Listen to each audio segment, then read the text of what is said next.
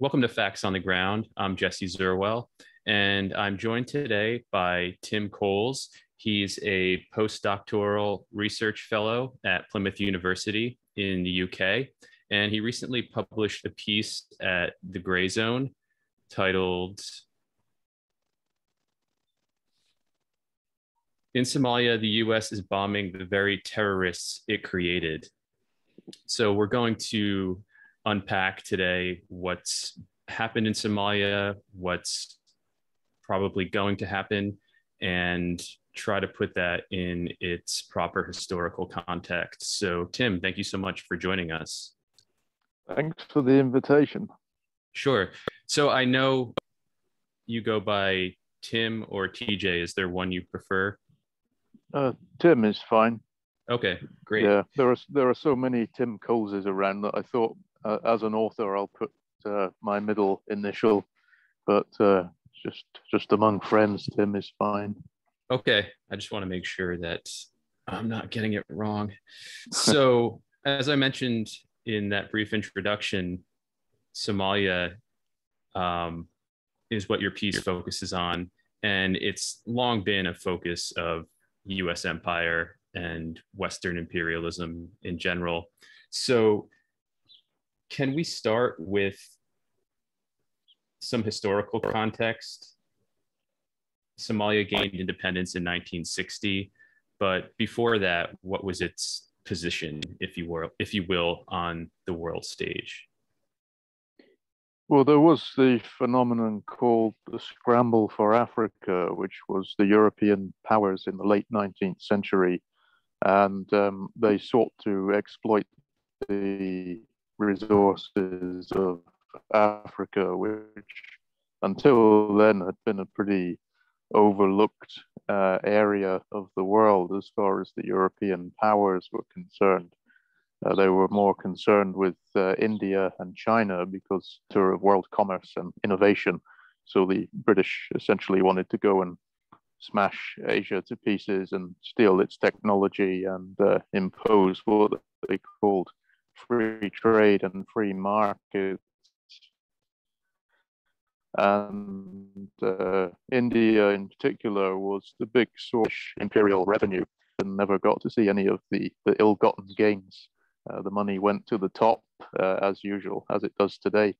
Uh, so Africa was largely overlooked, but um, once it became clear that uh, the British couldn't really hold on to Asia anymore, uh, the imperial powers, including France, uh, Germany a little bit, and uh, Italy, they shifted towards Africa. And um, the excuse for the imperialism was um, what they called the white man's burden that uh, white men were civilized, black people were not. So we had a, a responsibility to uh, invade and kill them and civilize the civilize the survivors. Uh, that was the, the logic of empire.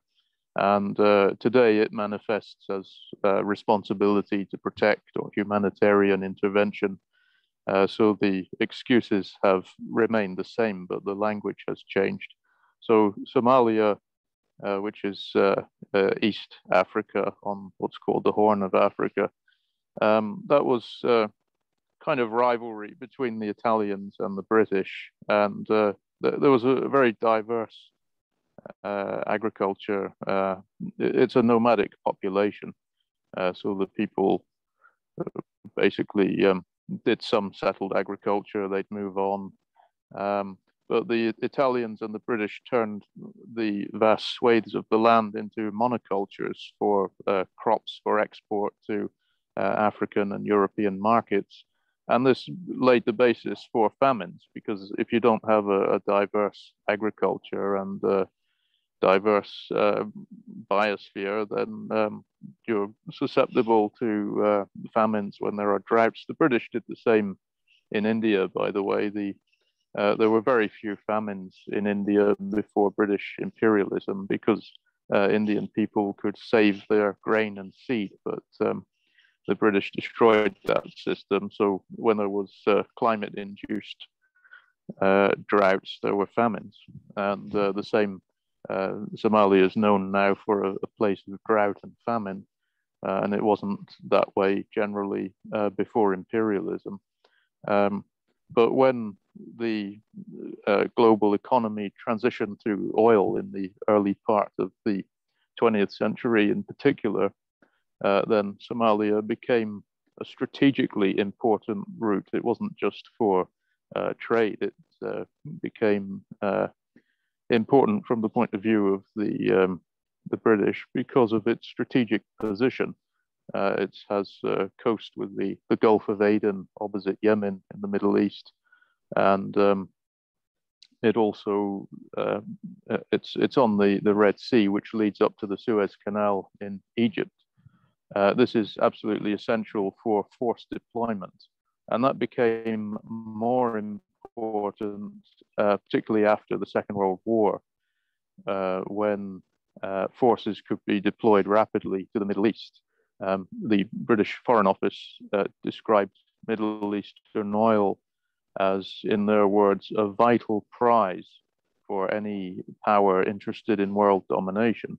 Uh, so they had to get to the Middle East uh, rapidly for forced, forced deployment if necessary. And so several countries uh, were considered important for this. Uh, Egypt was one because of the Suez Canal. Uh, Somalia is another. Uh, Yemen too. And um, this is pretty much stated in secret documents of the what was then called the Colonial Office in more honest times. Uh, the Colonial Office, uh, the papers are now declassified, but they were secret at the time. And um, the the U.S. empire, which uh, the British Royal Institute for International Affairs describes it as uh, empire by denial. Uh, and there's a book, uh, I forget the author, but it's called How to Hide an Empire. Uh, so the US is obviously the, the global empire. Daniel Immerwahr wrote that. Yeah, yeah. And um, the the US has just taken over uh, from the British, basically. So the the overarching strategic interest in Somalia remains the same. Anything else, uh, humanitarian intervention, counterterrorism, that's just noise.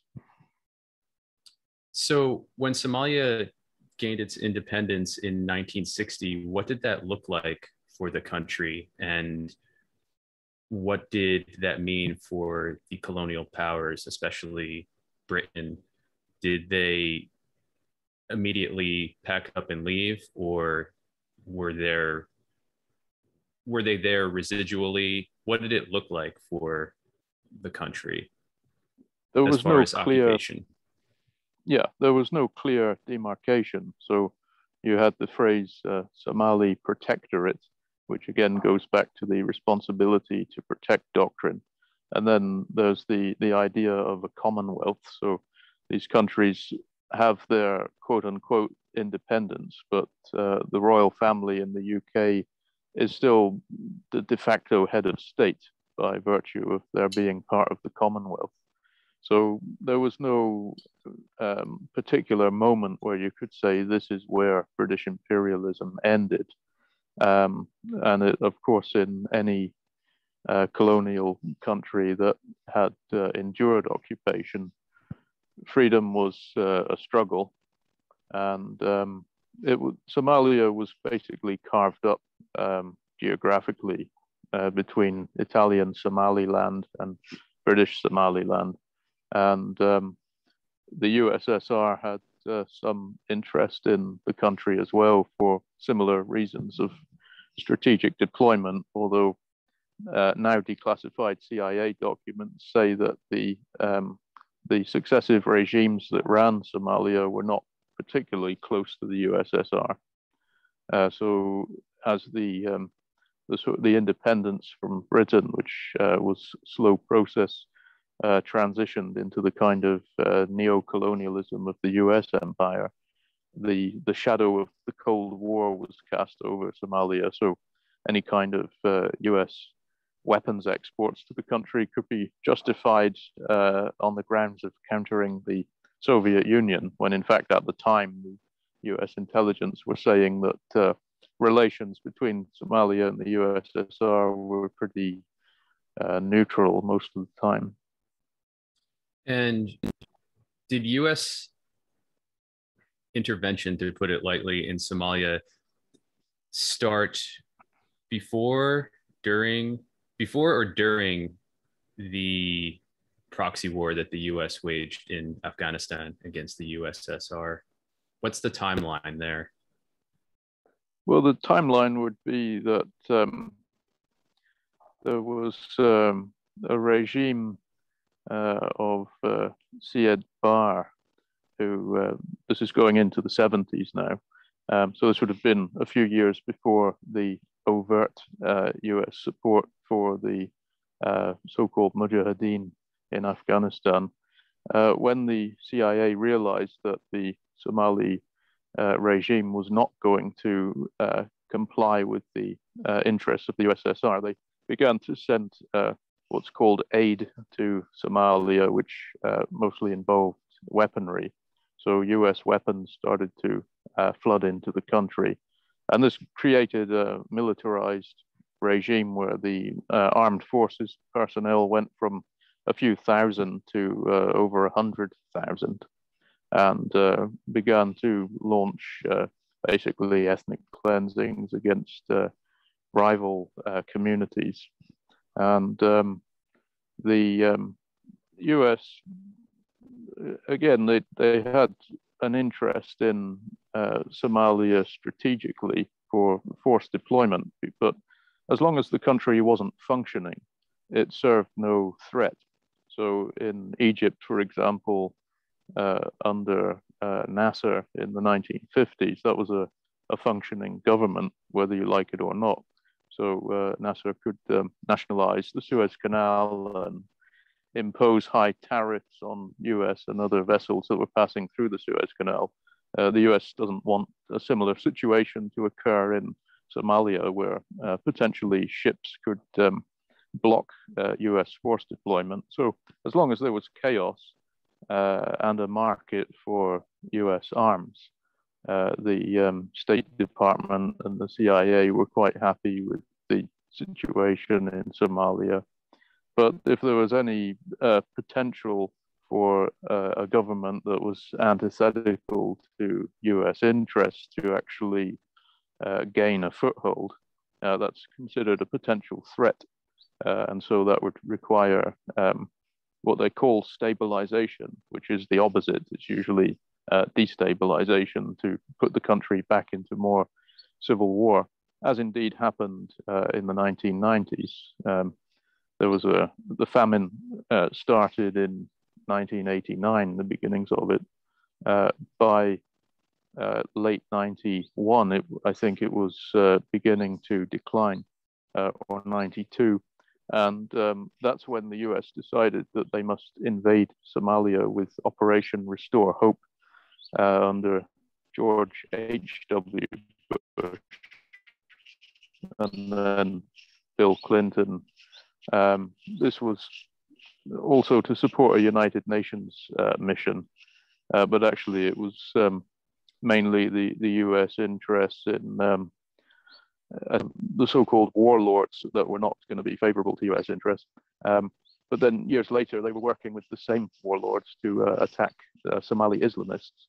So um, the the context depends very much on the the time frame, and uh, there are no, as the, the famous phrase goes, there are no real allies, just interests in international affairs. Right. So the British were essentially phased out quite quickly over just a few decades, it seems. And as the US empire grew, it replaced the British Empire in Somalia. Is that essentially a, a fair way of uh, generally summarizing what happened? Yeah, um, that's that's true uh, in most places. Um, not really India.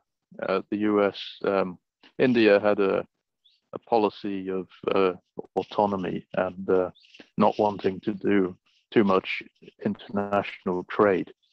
And uh, the US, as far as I can tell, I may be wrong, but the US didn't have much uh, interest at the time in India. It does now with the so called free market and high tech and exploiting Indian labor. Uh, but from really the end of the Second World War, um, the US was mainly focused on uh, trying to break into China. So, with that exception, uh, much of what Britain controlled fell mostly to the US at one time or another. So, the US, I know a lot of people think that Israel controls US policy, but as far as I can tell, it's the US is basically using Israel as a proxy for its interests in Palestine, which is uh, what the British were doing before then. Uh, Iraq, of course, uh, is um, one of the main countries that the British had in its uh, the, the, the waning days of its empire, and that's a big interest for the U.S. and Somalia is just another piece of this puzzle. So, when does Islam come into the picture? How how long has that been? I don't know if dominant is the right word, but let's say the dominant religion in Somalia. Well, this goes back uh, before the British into the um, the so-called uh, the, the slave trading days. Uh, we're talking like 15th, uh, 16th century, and um, there are remnants uh, in um, other British uh, colonial, former colonial countries in Africa, like Nigeria, that was basically split into two with um, Christians in one region and Muslims in another. This is how the Western intellectuals and historians like to frame it in these simple dialectics, but there's obviously much more to it than that. It's more complicated. So this tradition basically uh, continued in uh, Somalia, but the majority of Somalis are on the again, this this this is just a crude way of putting it, but the kind of softer end of Islam, the Sufi, more spiritual side, rather than the the dogmatic, um, formal uh, side of Islam, and um, that's pretty much the describes the population. That's why uh, counterterrorism experts um, didn't find the George W. Bush claims very credible that um, Islamic terrorists could get a foothold in Somalia because it's just not the sort of country that's conducive to that. If you look at um, a country that uh, the US has backed explicitly for its oil, uh, Britain too, which is Saudi Arabia, that's the that's the perfect kind of place for um, Islamic extremism and terrorism to foment because the the Wahhabi regime is utterly corrupt and um, utterly hypocritical and um, does not practice what it preaches, and what it preaches is monstrous anyway. And so uh, the more right wing elements of Islam can point to this regime and say, look, these are infidels, basically. They're not, uh, they're not uh, practicing what they preach and they can and because the regime is so oppressive they can build a, popular base. Uh, and if you look at the terrorism that followed in iraq after 2003 when the us and britain invaded the majority of uh, suicide bombers or alleged suicide bombers there were a lot of us special forces operations by the way so we don't really know what was going on. But anyway let's agree it was suicide bombers a lot of them were from Saudi Arabia and from Pakistan. They weren't Iraqis because under Saddam Hussein it was a more secular society. And um, this is why, although there were some Islamic elements that uh, took uh, advantage of the, the vacuum created in the early 90s with Operation Restore Hope, uh, they were not. Uh, it, it, was not a serious threat the way it, the way it is in what I've just described in Saudi Arabia, let's say because of the, the dynamics of the, the country. Yeah, and what's interesting about Saudi Arabia too, as far as exporting uh, jihad, is that during the the U.S. backed proxy, the U.S.'s proxy war in Afghanistan against the USSR, the uh, Saudi Arabia was essentially a partner and matching dollar for dollar the um, the funding and the arming and the training of the Mujahideen uh, by the US. And I believe just before the Soviet Union invaded, um, there was the storming of the uh, mosque. Um, I'm forgetting exactly where that was in Saudi Arabia, but it was a huge crisis. And that was when the Saudi regime, which by that time was really in its infidel stage, um, obsessed with the getting obsessed with the materialism we see it mired in now.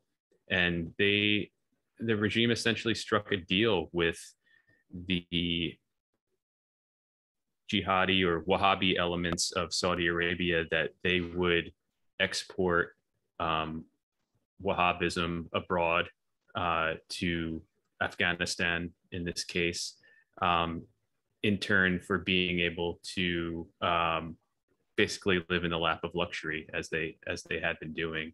So um, yeah, that's just to provide some more context to what you were yeah, saying. Yeah, the Taliban uh, as well. Right. Um, the the reports in in the nineties um, that looked at the um, this fanatical purist regime of the Taliban actually said, well, you know, these guys are looking at women's lingerie when they visited the West and things like that. So we see the same sort of uh, hypocrisy, uh, which is um, quite uh, standard among human societies. People uh, seem to be indoctrinated through the media to believe in these simplistic notions of good guys and bad guys that um, these particular Muslims uh, think they're going to go to heaven, etc., and really believe in their own propaganda, uh, when actually they're just uh, at the top of a hierarchy like anybody else, so they can be corrupted and hypocritical and have their own internal logic and biases and behave in ways that appear absolutely uh, contradictory to people outside, but they seem to believe in their own uh, believe in their own righteousness. So things are so much more complicated uh, than people uh, people can accept. Uh, and I, am guilty of this too because I, you know, my my summaries here are kind of sketches of what's happening. There's obviously more complexity. Right, and going off of that, or just to back up, I believe it was the it was uh, at Mecca where the mosque, uh, one of the holiest sites in Islam, was stormed, but I have to double check that.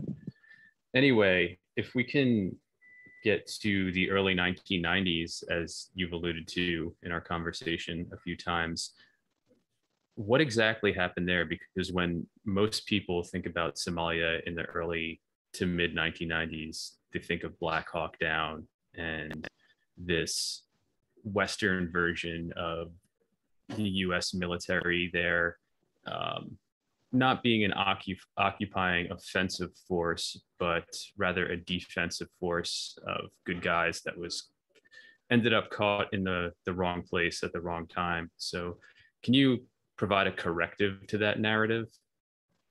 It was uh, 91 when the various warring factions decided to form a kind of coalition against the regime, which had uh, by that point was backing neither the USSR nor uh, the United States.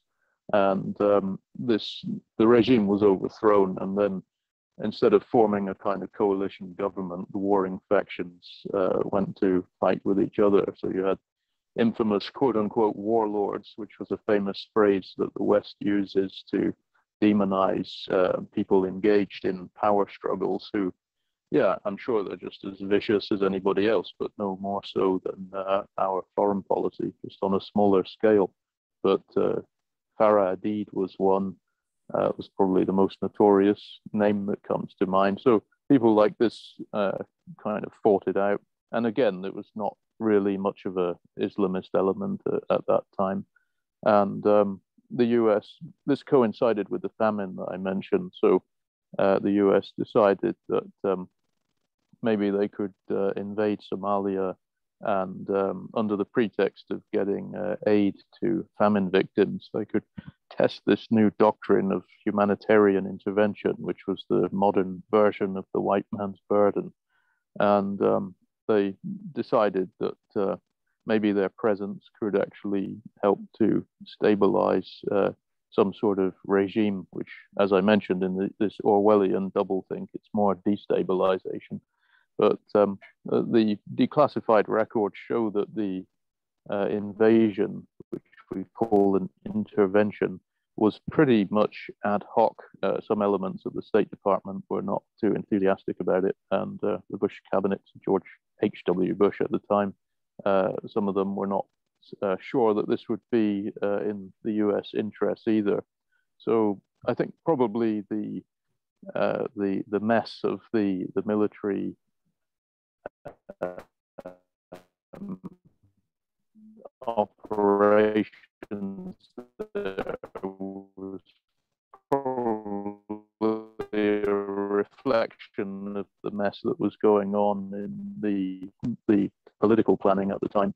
So, um, as you mentioned, the Black Hawk Down, uh, Farah Aidid, um, and then the um, UN operations became more uh, more transparent or more obvious in the country.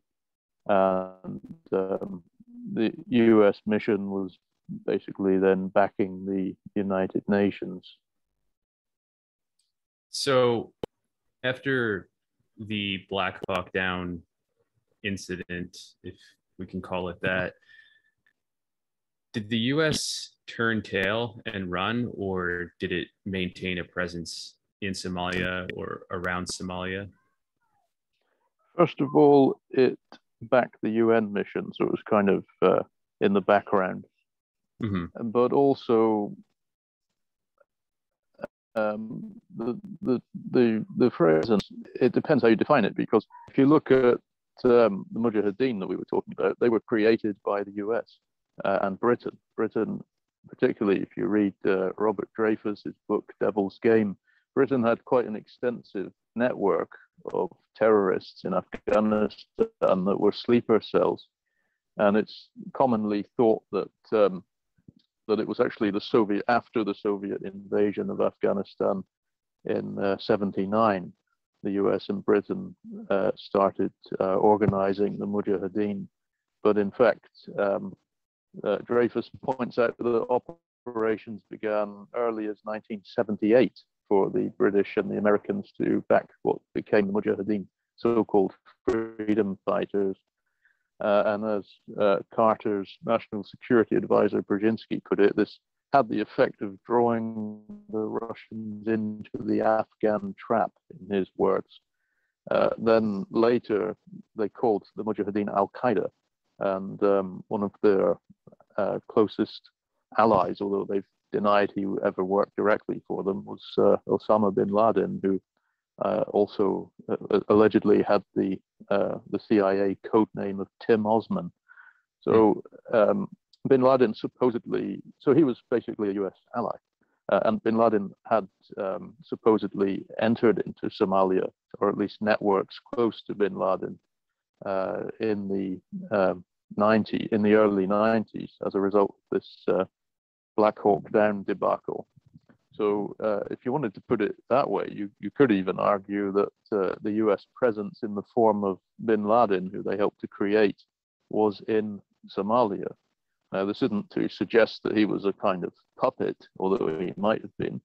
Uh, it's, it's to suggest that when the US uh, creates these figures uh, and they then go off into other countries, the US has a kind of informal alliance um, where they can then point to a terrorist presence and say, ah, we must bomb this country because there are the terrorists there, and the propaganda system make sure to say uh, that, you know, make sure to omit the fact that the US and Britain created these terrorists. So right. The, so the US presence was in the form of the uh, UN operations and uh, if you want to put it that way, the, the presence of the Al Qaeda that helped to create.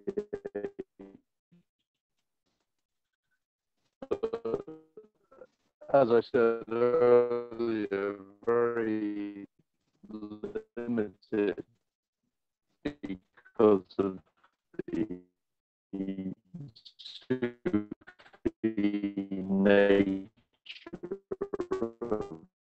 Tim, you're breaking up quite a bit.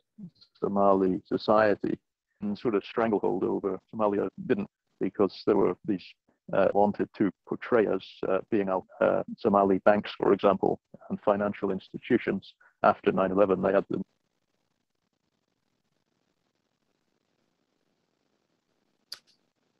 Can you hear me? Okay. Yep. Can you hear me? Yeah. Now I can. You broke okay, up a bit there so, before.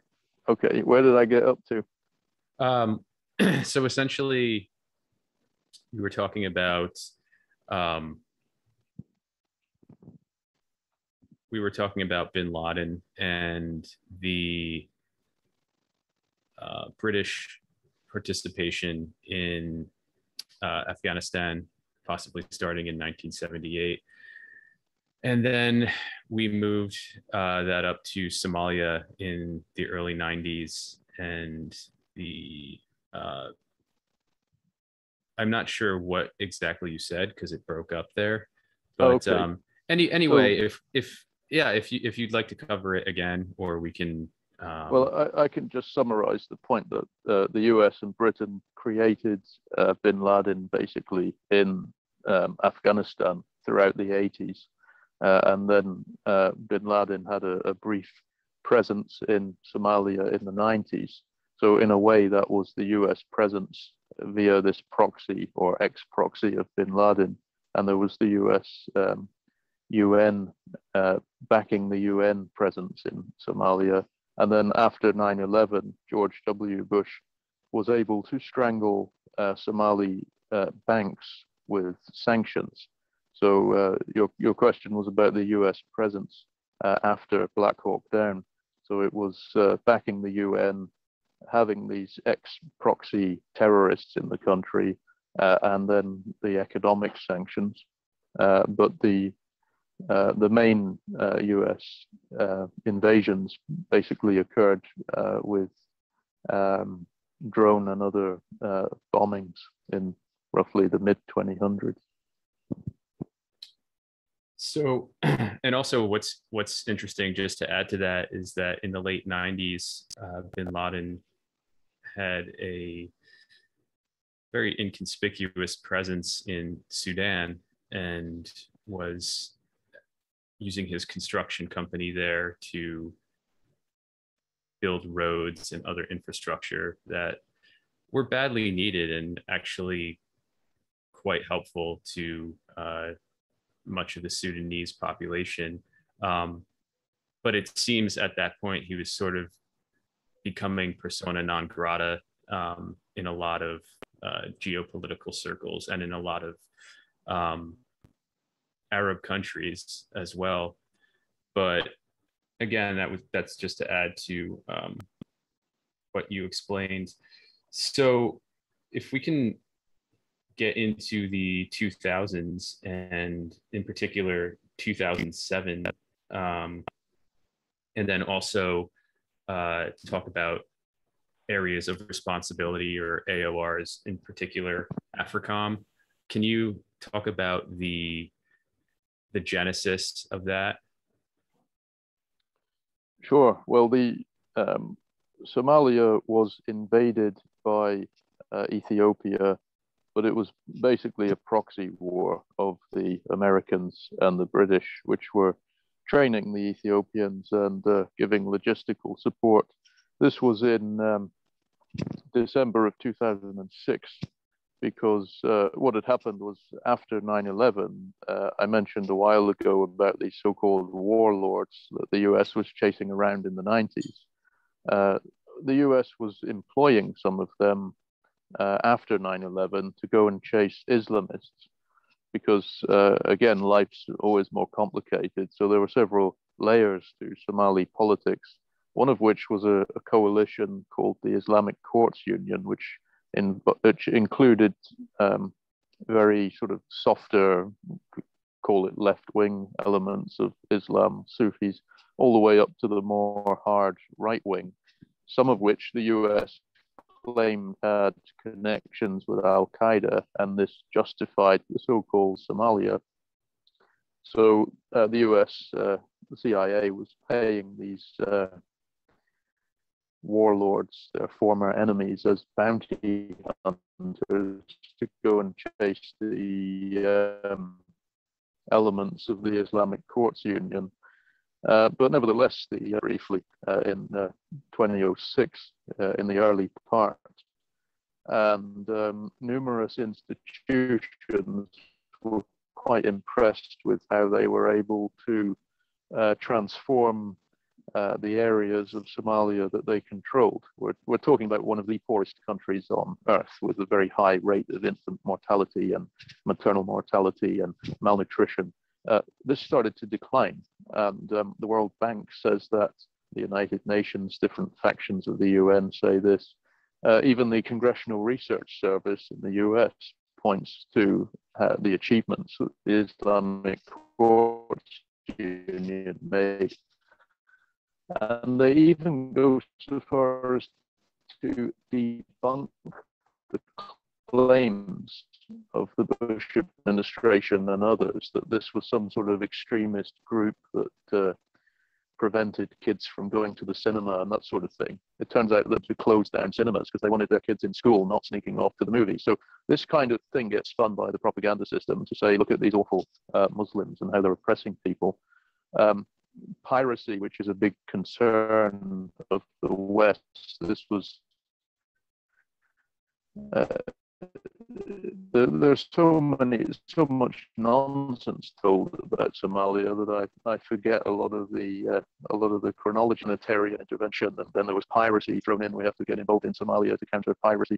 Um, European fishing vessels at a time of famine are stealing Somalia's fish while people are dying and they're exporting it to more lucrative markets. So this is the big piracy.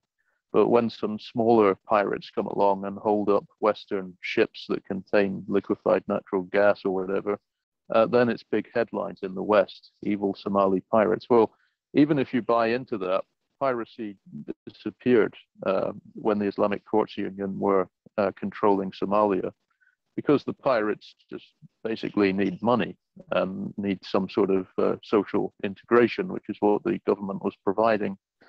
Uh, so, uh, but they were not necessarily, uh, it wasn't a, a, government conducive to US interests at the time. So through uh, Ethiopia, the, the US just uh, went and, and smashed the, the government to pieces uh, it was such a, a horror. Uh, the the federal government, uh, it was such a, horror this TFG regime that um, tens of thousands of people fled across the Gulf of Aden uh, in rickety boats, uh, many of them drowning, uh, to get to Yemen as refugees. Others went to Kenya and Ethiopia, where even to this day thousands are, are still there in refugee camps. So this is a whole generation whose lives are ruined. And we see echoes uh, with Afghanistan uh, when the uh, US and British created Mujahideen, um, basically pushed the Russians to invade Afghanistan. There were 3 million refugees. Many of them went to Iran, most of them went to Pakistan. And the kids in the refugee camps in Pakistan were being brainwashed by the very Al Qaeda, later they called them Al Qaeda terrorists that uh, the West was backing, and they grew up to be the Taliban. And we see a similar situation in terms of the brutality inflicted on refugees uh, in Somalia. So this was a terrible uh, humanitarian crisis, and it got almost no attention uh, in Western media. Uh, the focus was on pirates or terrorists, and um, the um, the regime pretty much uh, brutalized the population. Uh, we found that uh, the British had um, set up uh, the Somali National Security Agency, for example, with British taxpayer money funneled through an aid program. And this was in the mid to late 2000s? Yeah, that would have been um, December 2006 was the invasion. And then there was pretty much uh, just chaos and warring factions and different uh, governments coming and going. Um, pretty much continued up to the present. So, I remember when I, the ICU or Islamic Courts Union was in the mainstream media here and it barely merited a mention and was almost dismissed outright as um, yet another Islamist regime in Somalia. And of course, if you read other media sources, you would very quickly find out that that wasn't the case. But nonetheless, Al Shabaab started to come onto the scene in around 2007, which was also the year that Bush Jr. began bombing, I suppose, uh, Somalia, Al Shabaab uh, specifically, um, or so that was the stated aim. But can you break down what exactly Al Shabaab is as a group and and where it comes from? Because even to this day, there's still a lot of murkiness around its origins and um, what exactly constitutes uh, Al Shabaab. Yep. Can you hear me? Yeah, I can. Okay. So, so Al Shabaab. Yeah. So I had asked you about the the genesis of Al Shabaab and if you could clear up some of the murkiness surrounding it, because especially now we hear Al Shabaab and we immediately think Al Qaeda. Um, but there's a lot more to it than that. It's much more complex than that. So, can you talk about when Al Shabaab started to come onto the scene, so to speak? It translates basically as the youth wing. So it was uh, the youth wing of the Islamic Courts Union. That's all it was. And because the there were some, and I stress some, more right wing militant Islamist uh, factions of the Islamic Courts Union. When the uh, Islamic Courts Union was smashed to pieces by the Ethiopians, who were basically puppets of the Americans and the British, um, the the youth wing, Al Shabaab, uh, they took up arms and became um, quote unquote a radicalized force, which again, I've mentioned propaganda terminology throughout this discussion, and we should always be aware that uh, what appears radicalized from the outside is uh, a quite normal response to being treated with extreme violence from the point of view of the people who are being uh, tortured, basically. So while the transitional federal government, which was backed by Ethiopia, and Britain and America were going around uh, torturing Somalis and uh, fighting this brutal war, uh, the Al Shabaab uh, elements were becoming more uh, radicalized and hardline and uh, resisting the TFG. But um, I'm not going to remember the, the names of the specific leaders, but at some point it was alleged in, um, I think, 2013, after several failed Al Shabaab uh, military efforts against um, a US presence and against the TFG that um, the uh, leaders of the group decided that they were actually fighting a losing battle. And uh, the US then alleged that they had uh, pledged allegiance to um, Al Qaeda, which again, remember, was uh, created by Britain and the US basically. So what this meant, of course, was that um, all of the the claims that the Bush administration had been making all along that uh, Somalia is a, a, haven for terrorists and for Al Qaeda, uh, this suddenly became uh, true. Again, if you believe the propaganda, it's important to stress that uh, militaries and the CIA they have um, psychological warfare units, they have uh, counterintelligence units. So how do we know that some statement that's floating around on the internet saying we pledge allegiance to Al Qaeda, how do we know that that's not just counterintelligence? There was an example of that happening in um, in the early years of the invasion of Iraq. In uh, I think 2004, there was um, supposedly this uh, Jordanian uh, terrorist called um, Zarqawi. Zarqawi, exactly. And um, he was supposed to have uh, written a, a, letter to Osama bin Laden laying out a plan for how he was going to uh, sow the seeds of a, a, civil war in Iraq between the Sunni and the Shia. And this was almost certainly a fake. There were several uh, terrorism experts at the time who said this is very unlikely. And then uh, a reporter called Thomas Ricks in the Washington Post revealed that um, the US, uh, in his words, was inflating the caricature of Zarqawi to blame him for all the um, all the attacks that were going on, and how the US military uh, counterintelligence and psychological warfare units were targeting American domestic audiences by saying um, it's all Zarqawi's fault. Uh, when in fact, on other occasions, like in Basra, for example, uh, British SAS units were caught uh, about to stage a, a, false flag attack, and the Iraqis captured them.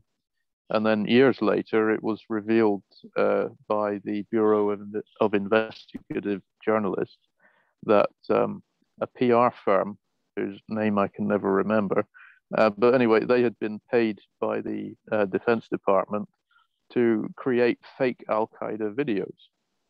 So a lot of this stuff you really have to question: is this even real, or is this just army uh, counterintelligence?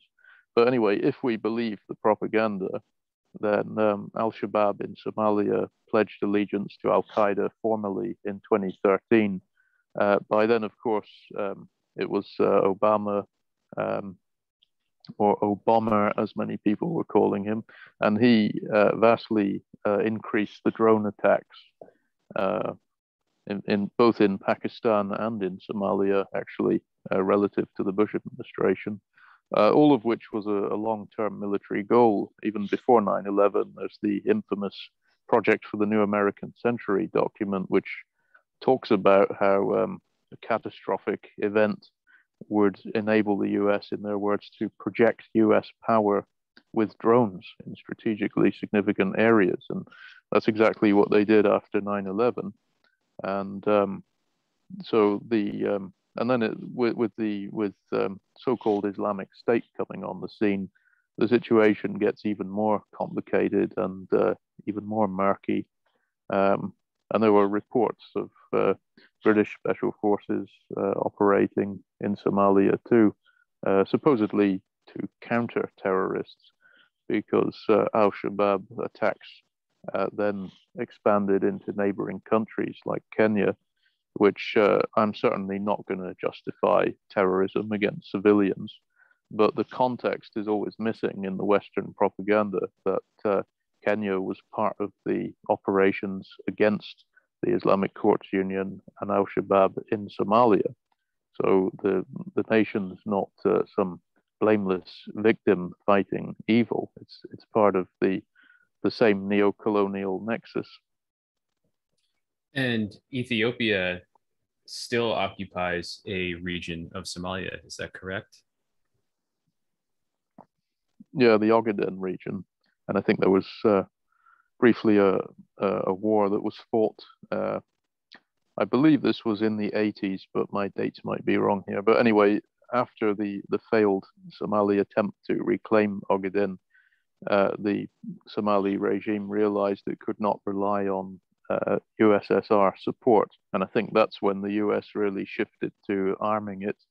But that's um, because Somalia now has uh, so many of its internal um, desperate struggles, I think that the Ogaden issue has been uh, put on the back burner as far as Somali politicians are concerned. And Ethiopia, of course, is going through its own civil war as we speak. So, going from there, I think it's important to highlight the civilian toll, or at least what we know about the uh, civilian toll that all this has taken in Somalia. Um, you quote in your piece for the Grayzone. Uh, I'm forgetting his position, but essentially he says in uh, 95, I believe it is, um, when asked about the civilian death toll, that he's, I'm paraphrasing because you have the quote, but he's not interested in counting bodies. And that put me in mind of something uh, Schwarzkopf said during the first Gulf War that we're not in the business of uh, body counts, uh, something to that effect. I think that's pretty close. Um, and that, of course, yeah. was when Schwarzkopf was asked about uh, the highway of death in particular, and essentially American bulldozers burying uh, Iraqi soldiers alive in the trenches they had dug out in the desert, um, or deserts, I should say. So, and as you point out in your piece, it's because of that lack of reporting, um, you know, which is actually an obligation of, of the military under international law, but because of the lack of that reporting on the the civilian toll, it's we don't really have a clear picture of how detrimental it's been to um, Somali civilians. But in your in your research, have you been able to get um, a clearer picture of the civilian toll? Um, you know, beyond what military officials um, have revealed, if they've revealed anything. It would appear from organizations like uh, Airwars and the Bureau of Investigative Journalists that the US bombing through drones and uh, other uh, aircraft has caused uh, in the low thousands of deaths. The Civil War, quote unquote, which actually was the US British Ethiopian War. Um, am I still there? Yep. Oh, yeah. I've just got uh, my battery's going to die soon, so I'll have to speed it up. But anyway, okay. the um, the Ethiopian uh, invasion uh, basically caused tens of thousands of deaths. But the worst crime is the systemic factor, which is when you smash a fragile country with a hammer, it sends ripple effects across the aid agencies and the logistics. So, according to Oxfam, uh, about a quarter of a million people died in the most recent famine a few years ago. So, we're talking at, uh, you know, maybe 300,000 deaths.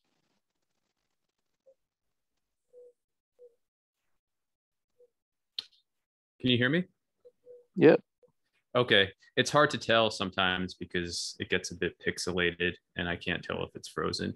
But okay, so to sort of bring it to a close, um, we've been hearing Biden um, in his remarks about Afghanistan talking about the U.S. military um, carrying out counterterrorism activity in countries where it doesn't have uh, an official military presence. And these are almost his words verbatim, basically admitting that the US is waging informal wars in other countries. Um, and in July, the Biden administration began bombing Somalia. Um, the U.S. began bombing Somalia yet again, um, using Al Shabaab as the uh, the pretense for that. And it seemed like with the so-called withdrawal from Afghanistan that the U.S. was going to um, pivot, to use one of the buzzwords, to to Africa um, and increase its imperial footprint there, which has already been quite large. Um, but it seems like that might be on the back burner or it could still go forward um, and and be obscured by what's happening in Afghanistan. But can you talk about um, the bombings that began in July and and where you see, um, in particular, Somalia uh, going uh, under all of this, and perhaps the rest of AFRICOM's purview in general, where where you see um, the countries that are under its under its dominance, um, what kind of future you see. Um, and of course, I'm not asking you to predict the future, but basically give an assessment based on based on your research. Well, the US is uh, committed to what they call full spectrum dominance.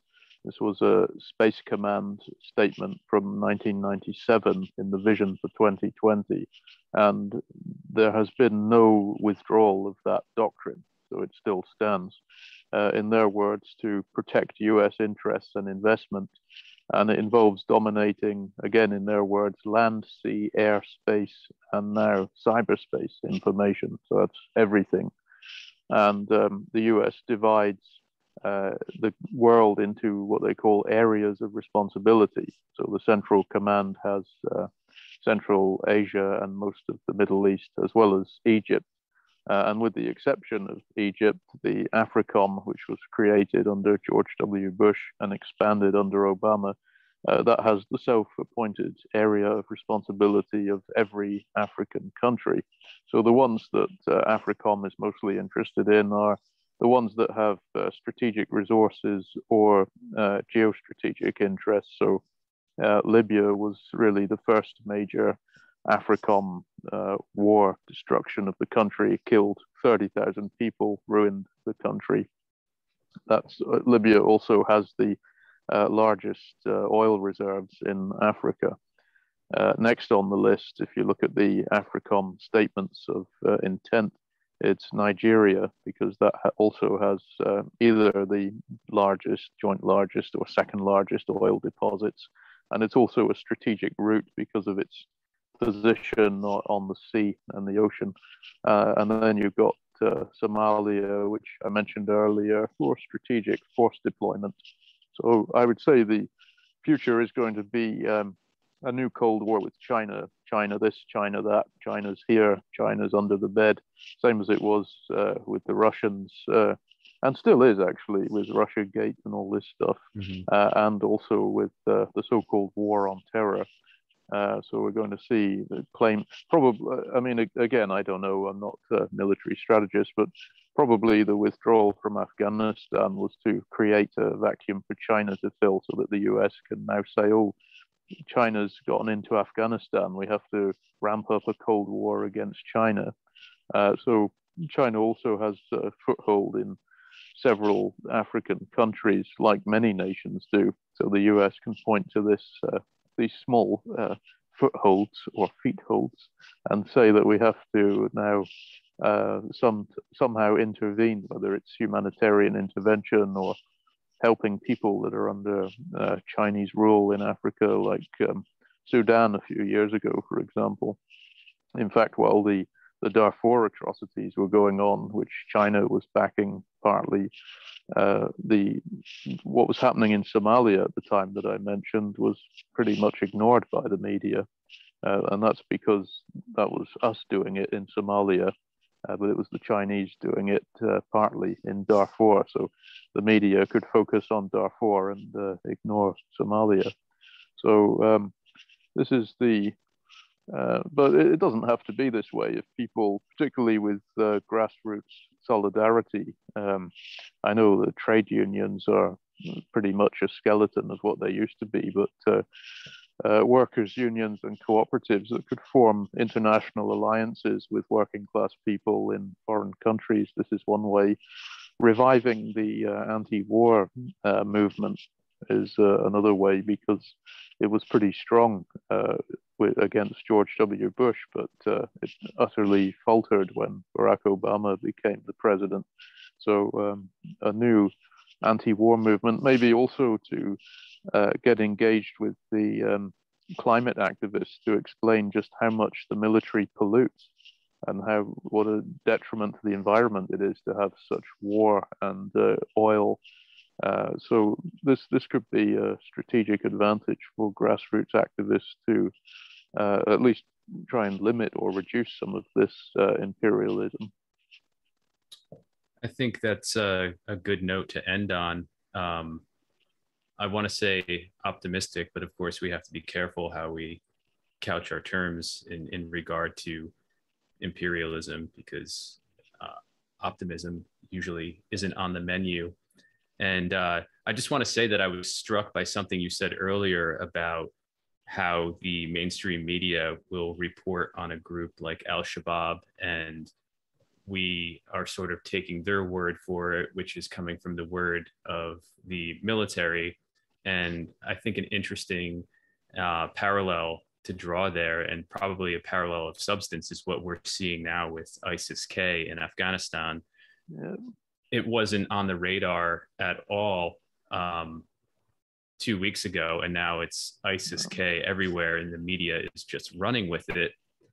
And I think that's something we have to keep an eye on too, especially if you go back and look at the origins, the so called origins of ISIS K, and see that it's essentially like Al Shabaab, an invention of the US and other Western imperial powers, and um, is being used as a justification, much like Al Shabaab, to maintain Western imperial dominance and uh, you know always having a boogeyman to to trot out to to justify that dominance so um yeah it's you know i think what we've been talking about in somalia um we're seeing sort of a mirror image of that in afghanistan right now um and we have as we discussed for for many decades so um yeah it'll be uh it'll be interesting and uh, certainly and anxiety. I, I found anxiety. It, um, Go ahead. Sorry, I, I, found it interesting that um, I was watching uh, Steve Bannon's War Room, and uh, Erik Prince called in the infamous uh, mercenary war criminal uh, of Blackwater and now whatever they call it, Academi or something. Academi, yeah, with an eye. yeah, that's right. And Bannon was there saying, "Oh, we got Erik Prince. He's he's calling in right now from Afghanistan." And I thought, hmm, interesting timing that there that there's a mercenary uh, right there, and now suddenly there are these explosions taking place. Right. Yeah, so I my... I have a lot of suspicions about what's taking place there, um, especially after the bombings or bombing. There's uh, some dispute as to whether there was one or two. Um, but uh, yeah, also Prince um, organizing flights out of Afghanistan for something like five thousand dollars a piece. Um, but he didn't course, do it for the money. He said. Right, right. He he's never done any of this for the money. it's just out of his own benevolence and the, the, uh, the goodness of the sucking what used to be a heart. Yeah, his his mer- merchant of death's heart. or so, maybe where there never was a heart. Right, right. So uh, all of which is to say that um, you know we need to pay attention. I think very closely to what's happening in Somalia and and the rest of Africa as well, because as you said, AFRICOM's footprint there basically covers the whole continent. Um, so thank you so much again for joining us, and um, it would be great to have you back on to discuss this further as it develops, because it's certainly going to. So um, our guest today has been Tim Coles. He is a postdoctoral research fellow at Plymouth University in the UK. Uh, he's currently living in France, though, so doing his work remotely. Um, and he recently published a piece at the Grayzone which uh, let me pull up one more time so I can plug the title. Because I think this is an excellent deconstruction uh, what we just talked about. In Somalia, the US is bombing the very terrorists it created, and you have terrorists in quotes in, yeah, in the title. That, which... that, that was uh, Max Blumenthal's insertion of quotes. So the credit goes to him if you want to. right on. Yeah, I think it's uh, it's appropriate though. So um, thanks again, Tim, and uh, look forward to talking again soon. Thanks very much. Okay. Take, take care. care. Bye.